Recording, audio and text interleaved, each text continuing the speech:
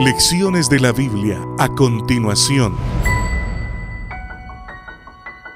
La lección bíblica para el día de hoy lleva como título Pablo en el Areópago. Hechos capítulo 17, los versículos 18 al 21 dicen de la siguiente manera. Algunos filósofos, epicúreos y estoicos entablaron conversación con él. Unos decían, ¿qué querrá decir este charlatán? Otros comentaban, parece que es predicador de dioses extranjeros. Decían esto porque Pablo anunciaba las buenas noticias de Jesús y de la resurrección.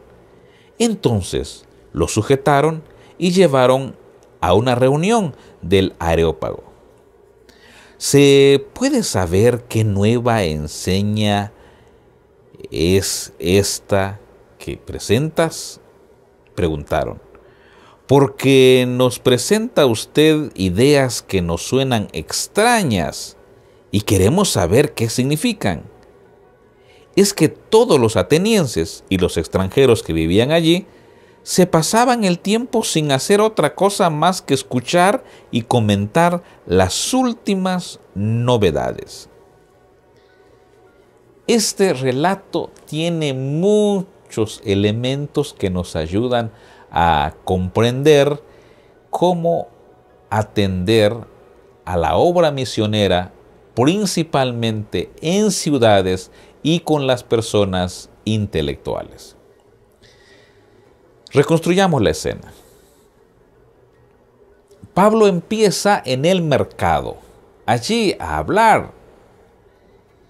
Esto cautivó la atención de pensadores de filósofos, de personas que les gustaba, de alguna manera, eh, filosofar, eh, discutir, opinar, eh, estar con una mente abierta a las novedades de pensamiento. Recordemos que Atenas y ese lugar prácticamente fue cuna de pensadores como Sócrates, Platón, Aristóteles, en fin.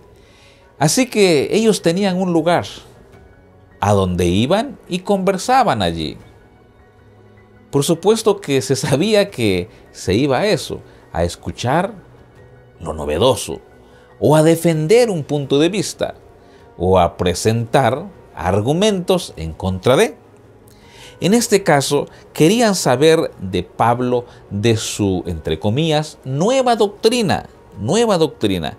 Entonces, Pablo sacó allí sus conocimientos acumulados tanto en su formación académica, por ejemplo, con Gamaliel, como también su experiencia cristiana, su relación con Cristo Jesús. Esa unión hizo que Pablo fuera muy prudente y de paso mostró que Pablo sí conocía eh, la filosofía, la historia, la cultura, el ambiente, algunos detalles de esa ciudad ateniense. Así que él, con todo lo que tenía, entonces fue allá para conversar con ellos, para estar allí con ellos. ¿Cómo podemos aplicar nosotros esta experiencia de Pablo a nuestra obra misionera? Bueno, debo conseguir toda la preparación posible que pueda eh, tener a la mano o interesarme en ser un autodidacta para tener un conocimiento amplio, una cultura general, de tal manera que cuando llegue la oportunidad de conversar con personas poderosas, intelectuales, podamos iniciar por puntos comunes.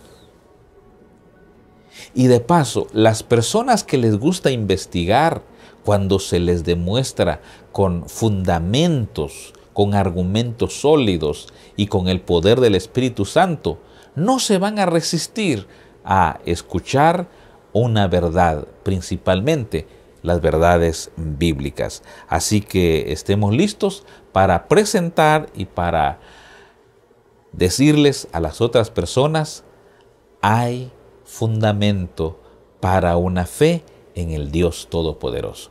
Que Dios te bendiga, soy Ebrobleru, recuerda, hoy es el día de tu salvación.